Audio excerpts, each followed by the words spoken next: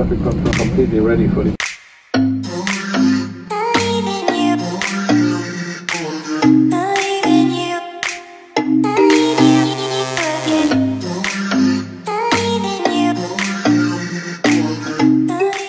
Vært på en super tur med Eurosport, og altså de som planla hele turen, og vi fikk være i VIP og oppleve masse sykt som på en måte vi skal engasjere dere til OL. Mange kule folk fikk lov til å være med til Østerrike, som var fra andre land og sånt, eh, som var i Skandinavia. Så jeg, også Prebz og Dennis, fikk være med.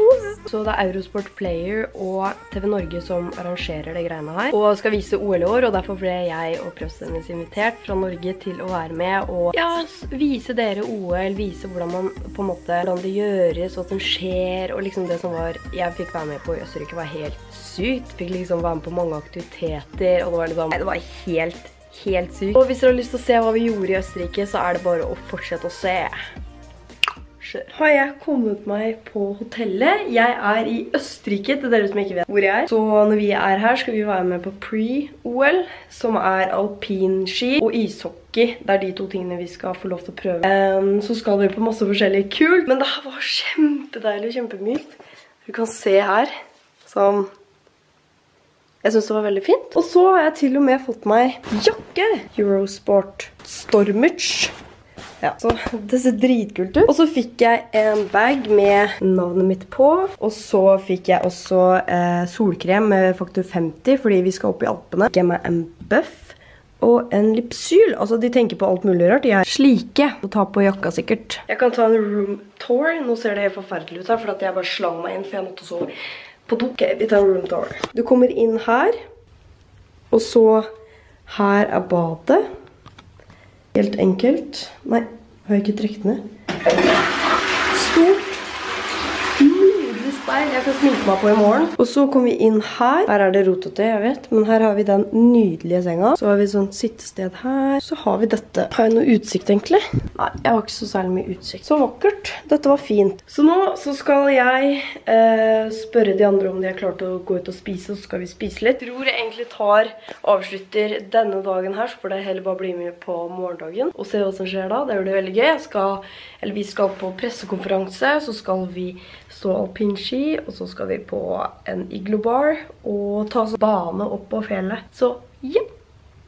Nå er klokka syv. Nå skal vi ned om en halvtime eh, på det pressekonferansegreiene. Jeg tror ikke vi har noe å si, men jeg er bare veldig usikker på hva jeg skal ha på meg. Jeg tror jeg tar på meg bare sånn den her. Så ullundertøy jeg fikk i går, for den er liksom hvit, så det går bra. Og så må jeg ha på den flisbuksa, eller så må jeg bare ta på meg den buksa jeg har med meg.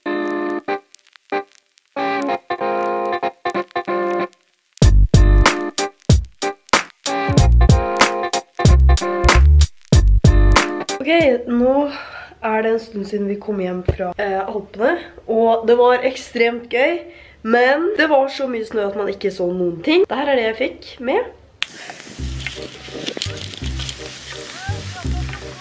Du er sikker på ikke du er utsida av løypa da, prøve? Det her er der du ikke skal kjøre. Du skal holde deg innenfor. Du skal holde deg på sida der liksom, ikke der. Det er bra du ikke er reiseguide, altså. Åh! Preben, nå er du utenfor igjen. Ser du det skiltet her borte, eller? Der står det ja. der du kjører, Preben, det er farlig. Der står det stort kryss og et utropstegn. Jeg kan si det er rasfare der eller noe. Si ifra hvis du finner en død dude, da. Da får vi masse views, har jeg hørt. Men nå så har jeg vært på butikken. Jeg har vært på butikken, og var det veldig stygt lys her. Da plukket jeg med meg et par ting som jeg aldri har smakt før sånn vi bare starter. Det første jeg skal smake på er kokosnøtt. Det er soya sjokolademelk med kokosnøtt, og jeg elsker soya sjokolademelk. Så lekker det.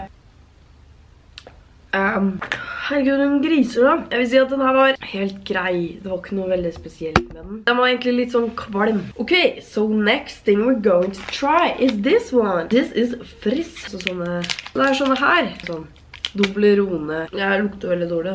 Det er kirsebær, eller ja. Den var god, men den smakte litt sånn nellik. Nei, ikke nellik. Jeg husker ikke hva det heter, men den var god, men det var et eller annet så syrlig sånn. Så skulle vi smake på noe som jeg forventer veldig bra rating på. Det her er Hitchler. Åh, det her er vegetarisk også. Og så er det eplesmak. Nå har vi kommet riktig. Jeg skjønner sånne tråder. Helt perfekt. Med sånn sur eple, sånn god. Sju, og om en halvtime skal vi ned og snakke med litt sånn ledelsen med sosiale medier og sånt, angående hva jeg skal poste og sånt. Det er ikke så veldig mye mer som skjer nå egentlig. Jeg skal bare slappe av. Nå skal jeg faktisk gjøre noe som jeg ikke trodde jeg kommer til å gjøre, men jeg har ikke trent på sånn en uke eller to fordi jeg har vært syk. Nå fikk jeg litt skyldfølelse, så nå skal jeg drive og ta egentlig en oppvarmingsøkt som kompisen min, og jeg pleier å gjøre når jeg er med han og trene, egentlig. Jeg vet ikke om det her er spennende å få med, men det her er jo trening og sport, så jeg tenker sånn det passer rett inn. Så det jeg starter først med, det er å ta, altså det her er min versjon, for jeg er ikke like sterk som han, som har lært meg det, eller liksom har laget en økt Uh, men jeg, først så tar jeg 15 push-ups på knærne, fordi jeg greier ikke det nå stående. Jeg pleier ikke å ta det heller, for da føler jeg ikke at jeg ta flere repetisjoner. Og så tar jeg 20 sit-ups, og den tingen der tar jeg tre ganger.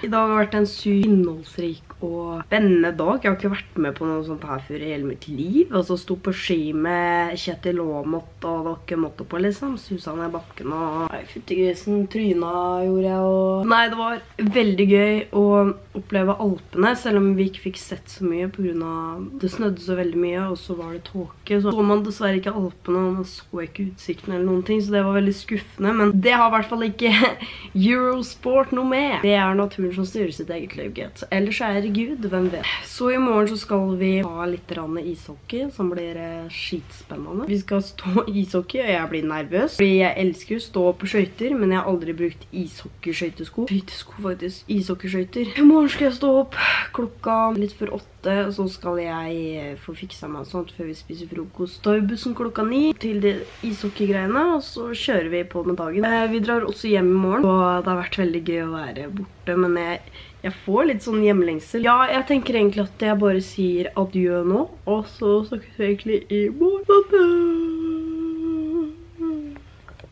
God morgen. Nå har jeg fått uh, kledd på meg, ja halvveis. Og jeg skal ned om sånn 10 minutter for å spise frokost med Dennis og Preben og Helene. Og så etter det så tar vi buss rett til vann, så det er... Eh, og jeg tror bare vi får vært med på morgenaktivitetene, siden vi drar eh, med fly rundt 6-7-tiden.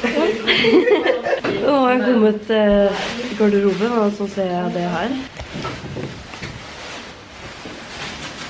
Uh, nervøs. Dette blir gøy. Ja, nå har jeg fått på meg outfiten.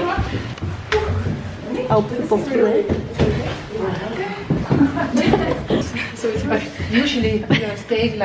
Den er hos.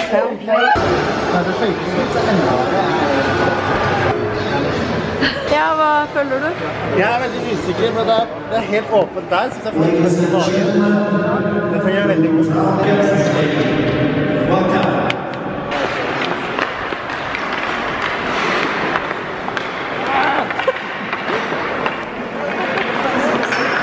Klarer du å leve fingrene? Hæ? Klarer du å le fingrene? Ja. Er du klar til å spille?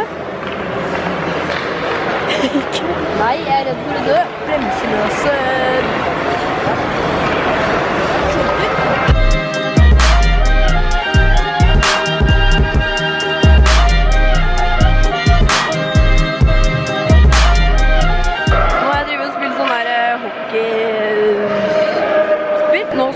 luke rundt, at nå ble det litt skummelt. Det ser ut som de dreper hverandre og sånn. Og så er jeg litt sånn, de har allerede sitt team, og så kommer jeg fra Norge og bare, yeah! Og det var ikke. Så vi rundt.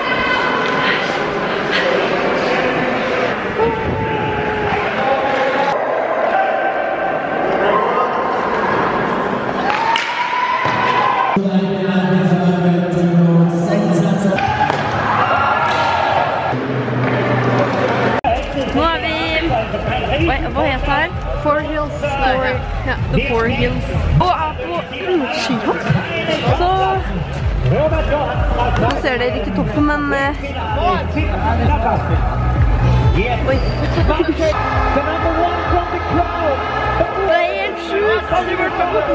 Det er VIP. Skjønner hvem som skulle dit? Nå skal vi opp den der hersens trappa her.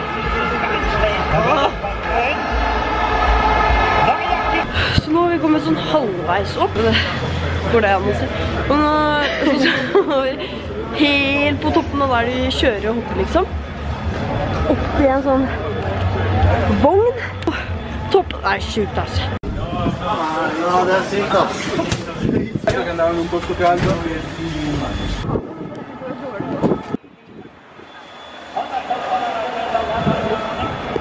Nå kan man ikke se så mye, men vi er over der skihopperne hopper. Vi er over der skihopperne hopper. Da er jeg ikke